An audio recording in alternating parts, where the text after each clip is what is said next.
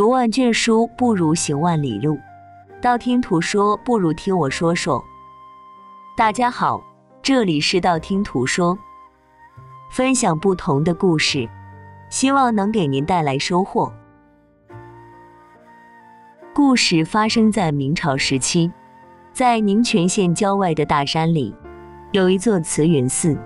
慈云寺前不着村，后不着店，处于深山老林之中。周围人迹罕至，就像是与世隔绝一般。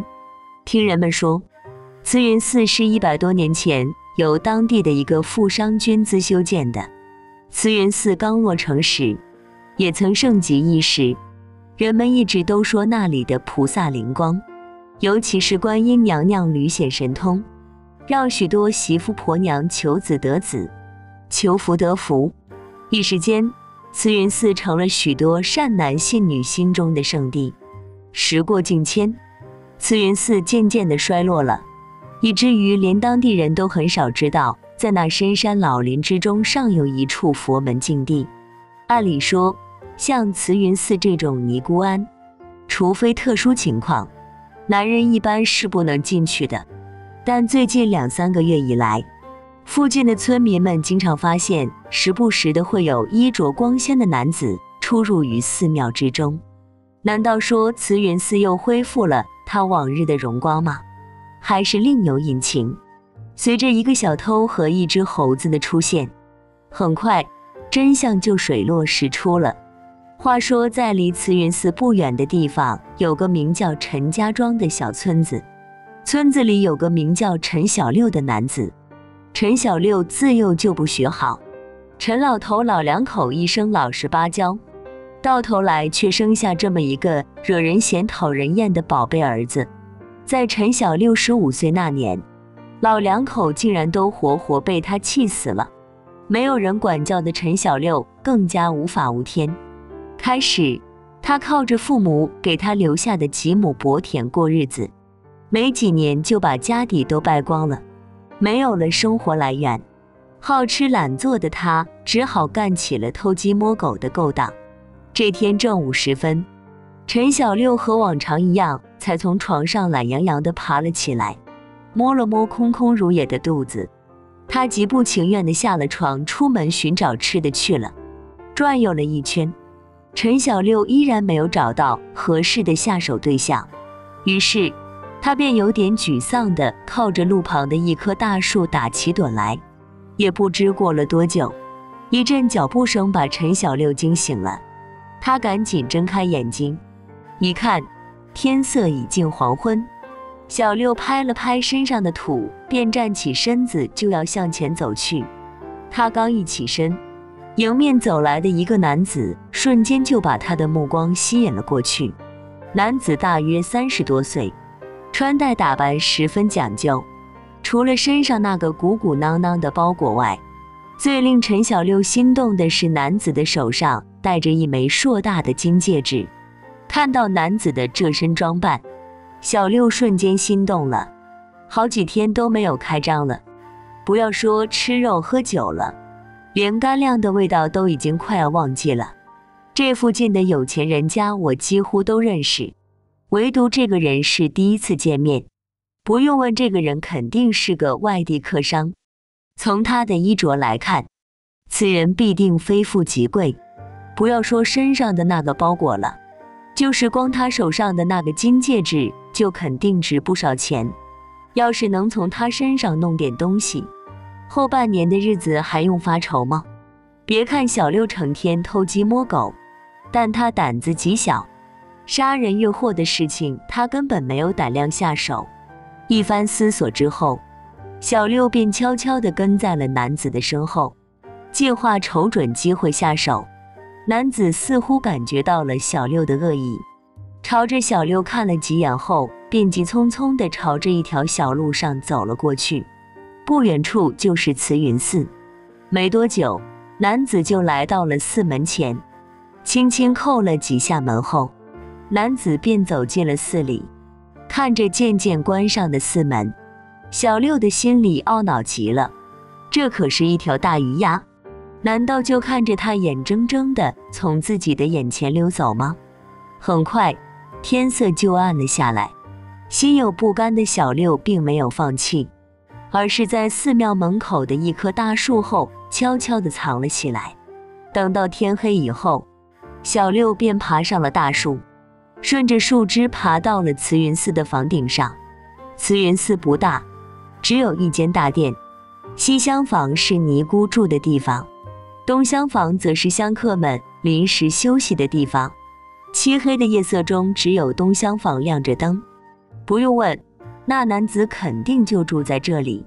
悄无声息地爬到东厢房的房顶上之后，小六掀开了房顶上的瓦片，朝着屋子里看了进去。屋子里点着一盏油灯。此时，男子正百无聊赖地躺在床上。就在这时，一阵敲门声响了起来。听到敲门声后，男子赶紧坐了起来，把门打开了。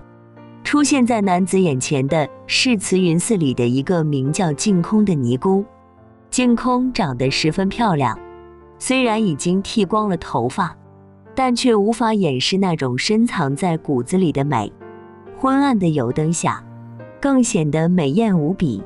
男子似乎被净空的美貌所吸引住了，竟然呆在那里半天也没有作声。看到男子如痴如醉的样子。净空不由得笑出了声：“这位施主，你发什么呆呀？”娇羞的话语丝毫不像是从一个尼姑口中说出来的，倒像是风尘女子一般。不要说那男子了，就连趴在屋顶上偷看的陈小六都有点心动了。男子尴尬地笑了笑：“小师傅，刚才是我失礼了。夜深人静，不知前来所谓何事？”净空说道：“施主，小寺地处偏僻，拿不出什么像样的好东西来待客。寺院后面有一大片茶园，这茶有安宁镇静之功效，喝了它的人都赞不绝口。壶中茶水乃贫尼亲手泡制，还望施主不要嫌弃。”说完，净空便把一个精致的茶壶放在了桌子上，并且打开了壶盖。刚一打开壶盖，茶香就从茶壶里溢了出来，连屋顶上的小六都闻到了淡淡的茶香。闻着这诱人的茶香，男子的脸上不由得露出了满意的笑容。真是多谢小师傅了。只听净空又说道：“夜深人静，贫尼就不多打扰了。记得那茶还得趁热喝，凉了就没味了。”说完。净空便转身走出了屋子。净空一走，男子便迫不及待地倒出了茶水，坐在那里品起茶来。看着男子悠然自得样子，小六不由得咽了咽口水。就在这时，令人意想不到的事情发生了。大概是茶壶太小，没几口，男子便喝光了。意犹未尽之下。男子便起身端起茶壶前去蓄水，就在他起身的一刹那，只听“通”的一声，男子重重地摔倒在了地上，一动不动了。看到眼前的这一幕，小六瞬间吓出了一身冷汗。不过很快他就明白了过来，这茶水肯定有问题。就在他目瞪口呆之际，门突然开了。只见净空从外面走了进来，净空手持尖刀，快步走进屋里后，先上前试探了一下躺倒在地的男子，见他依旧是昏迷不醒，便将那男子手上的金戒指脱了下来，然后又打开男子的包裹，将里面的财物全部拿了出来。就在这时，屋顶对面的另一棵大树上突然传出了阵阵长啸。长啸声非常尖利，听在耳中很是刺耳。小六尚未明白是怎么回事，突然间，只听“噗噗”两声，再看去，两个砖头似的东西从树上飞出，直直地朝着男子躺倒的屋子中打去。只听“通通”两声，砖头破墙而入，正好打在那油灯上面。霎时间，屋子里一片黑暗。这突如其来的一幕把小六吓坏了，惊吓之际，他不敢再做停留，随即赶紧起身，朝着来时的那棵大树轻手轻脚地走了过去。或许是吓坏了，一不留神脚下一滑，小六顿时摔倒在屋顶上，打起滚来。很快他就跌落下了屋顶，屋后恰好是一条深沟。只听一声惨叫，小六便什么也不知道了。也不知道过了多久，小六醒了过来，睁开眼睛一看。一个浑身长毛的怪物正用两只猩红的眼睛看着他。看到这怪物，小六瞬间被吓了一跳，连忙惊慌失措地叫道：“你是人还是鬼？”见小六醒了，那怪物的脸上竟然露出了一丝微笑。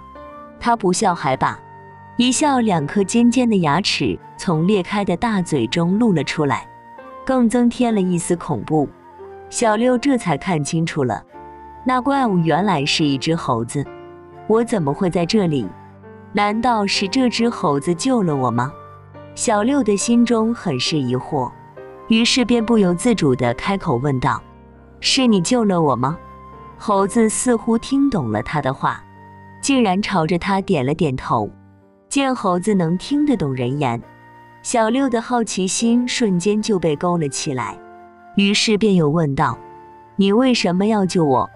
猴子朝着他看了一眼，便又转过了身子，朝着山洞外长笑了一声。听到长笑声，小六瞬间明白了过来。这样说来，那天就是你在寺庙里的那棵大树上往房间里扔东西了吗？你为什么要那样做？那个尼姑惹着你了吗？话音刚落，那猴子的脸上就阴云密布。尽管小六没有见过猴子生气，但他能明显的感觉到猴子生气了。再问下去，那猴子却不再理他了，而是用手指了指小六的腿，仿佛在告诉小六，一切等你伤好了再说。见猴子不想再多说，小六也就没再多问，便安心在山洞里养起伤来。猴子每天都会给小六摘些山上的野果来充饥，尽管不太好吃，但至少能够填饱肚子。转眼间十多天过去了，小六的伤也好的差不多了。这天吃了点野果以后，小六尝试着起身走了几步，见伤势已无大碍，小六便计划下山。于是他便开口对猴子说道：“朋友。”这些天多亏你照顾了，我的伤也好了，我就要下山去了。等有机会，我一定还来看你。说完，小六便朝着洞口走去。就在小六迈开双腿的一刹那，猴子一下子抱住了他的腿，又把他拖进了山洞里。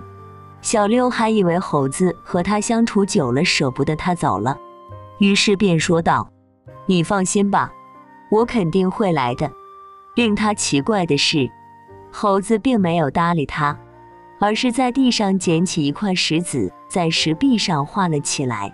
看到猴子的举动，小六很是纳闷。不久之后，猴子停下了动作。等小六看清楚猴子画的东西时，他傻眼了。石壁上，猴子竟然画出了一个尼姑的模样，尽管略有些丑陋，但小六还是认出来了。猴子画的就是一个尼姑，不过这个尼姑看上去要老上很多。猴子为什么要画出这个尼姑？画上的尼姑又是谁？怀着好奇的心，小六问道：“你这画的是谁？”听了小六的问话，猴子朝着山洞外面慈云寺的方向指了一指，然后便坐在地上学起了尼姑参禅打坐的样子。看到这。小六又问：“难道你画的是慈云寺里的一个老尼姑吗？”猴子点了点头。小六又问：“这个尼姑是谁？”猴子走到洞口后，又一瘸一拐地朝着洞里走了进来，然后便往地上一躺，接着他又坐了起来，腾地一下坐进了小六的怀里。猴子到底要表达什么？小六百思不得其解。见小六不明白他的意思，猴子有些着急了，于是又把刚才的动作重复了几遍。一番折腾之后，小六总算才看出了点眉目。你难道是说这个尼姑见你受伤了，便把你救下来了吗？猴子见小六听懂了他的意思，脸上不由得露出了高兴的表情。小六又问：“那你给我画这幅画到底是什么意思？”他刚说完，那猴子一下子就跑出了洞外，随即消失不见了。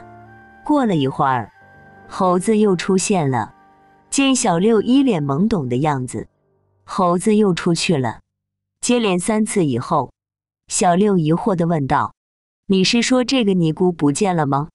猴子点了点头，得到了猴子的肯定，小六便在那里寻思了起来。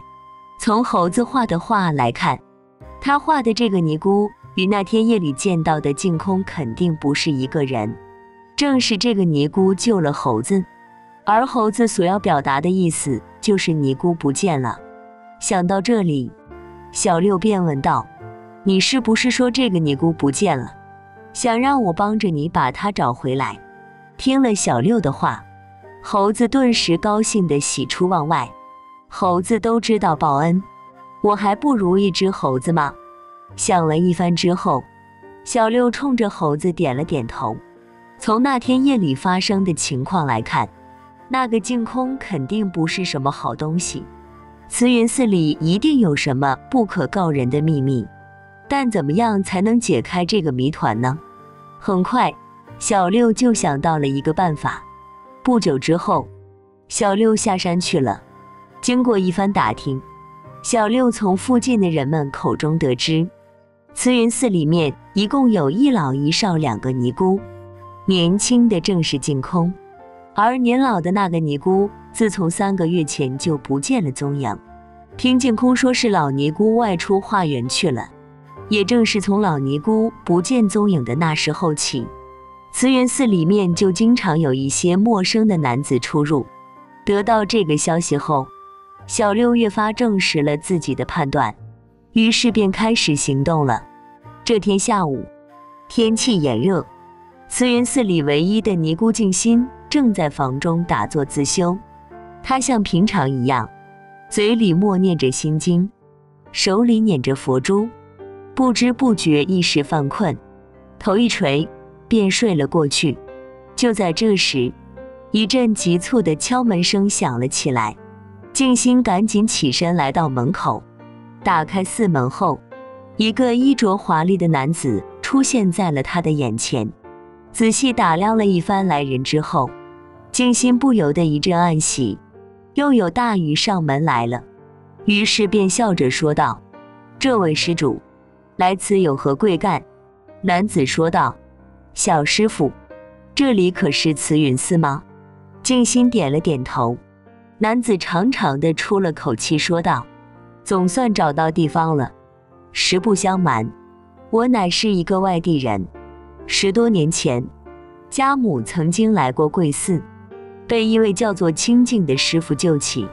多年过后，母亲挂念清净师傅。”特地让我前来拜访他一下，顺便看他有些什么难处，我也好接济一番。说着说着，男子不经意间将手上的大金戒指露了出来。听男子说完后，静心先是愣了一下，随后便笑着说道：“原来如此，真是不巧，我那师傅刚刚下山，等到晚间时分才能回来。”不知施主能否在这里休息片刻，等他回来？听静心这样说，男子的脸上不由得露出了失望的表情。不过随即他便又说道：“那就只好叨扰了。”很快，静心就把男子带进了东边的厢房里，随即转身出去了。男子正是小六，为了一探究竟，他便使出看家本领，偷了一件上好的衣服。又用黄铜做了一个戒指，变做了一个富商模样。不久之后，一阵敲门声响了起来。小六开门后，那净空已经站在门口，见净空的手里正提着一把茶壶，小六顿时警觉了起来。和那天夜里的剧情一样，净空又开始夸起了他的茶。但小六心中早已有了防备，任凭那净空如何劝说，小六就是不肯喝茶。见小六不肯上当，净空便失望地从屋子里走了出来。很快，天就黑了，因为依旧不见清净师傅的踪影，小六便决定出门问个究竟。刚一出门，西厢房里就传来了一阵轻微的说话声。只听一个男子说道。怎么样？那小子还不上道吗？哎，这家伙很是小心，任凭我如何劝说，他就是不肯喝茶。我看不如这样，要不把那老家伙弄出来，让他见上一面。静心说道。男子狠声说道：“要是那老家伙出来以后随口乱说，咱们不就都露馅了吗？不行，还得想个办法。实在不行。”干脆一不做二不休，一刀要了他的小命，咱们就拿上东西远走高飞，怎么样？听了男子的话，小六顿时吓出了一身冷汗。